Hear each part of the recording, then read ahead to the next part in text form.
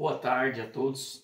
Estou aqui, através desse vídeo, me manifestar em relação a um vídeo que eu recebi é, de, no município lá de Santo Antônio, onde estava reunida a prefeita Franciele, juntamente com a nossa prefeita Margarete, e tinha também vários procuradores, representantes da Câmara de Santo Antônio. Primeiro dizer que nós não fomos convidados nenhum momento para estar decidindo e tomando as decisões do nosso município. Essa é uma situação. Outra situação, no final lá, em agradecimento, até parabenizar a prefeita Franciele pelo agradecimento à Câmara de Santo Antônio.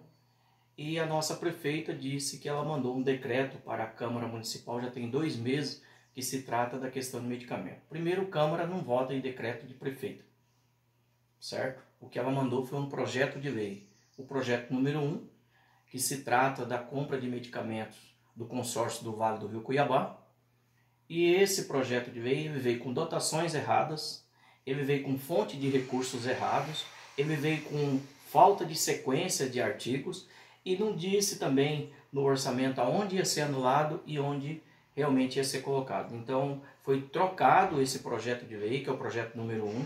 Na quinta-feira foi trocado esse projeto de novo e a gente colocou esse projeto na sexta-feira para as comissões e os demais vereadores para que eles possam analisar.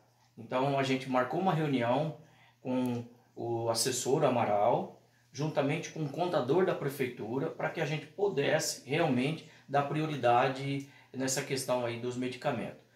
É, para falar a verdade, a reunião é quarta-feira e a gente fica assim, é triste de ver onde a prefeita ela disse que a Câmara Municipal está fugindo da sua responsabilidade. Isso não é verdade ela realmente está equivocada.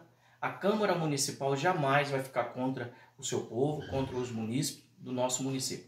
Então esse é um recado da Câmara Municipal. Meu nome é Dena, sou vereador, presidente da Câmara e dizer isso aí a toda a população, o esclarecimento a toda a população do Barão do Melgaço. Muito obrigado a todos e uma boa tarde.